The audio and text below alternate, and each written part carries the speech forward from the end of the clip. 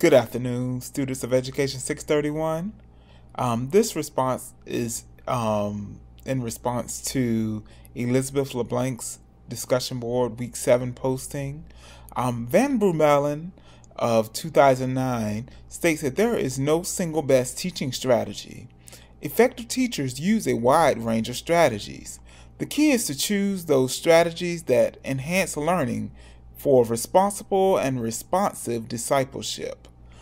Distance learning allows for the incorporation of a variety of teaching strategies and methodologies, which allows learning to be more customized towards the student's learning ability.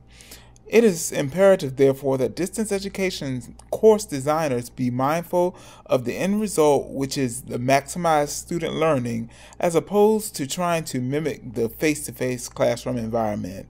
By staying focused on the goal of maximized student learning, distance learning programs are effective equivalencies to the traditional face to face classroom.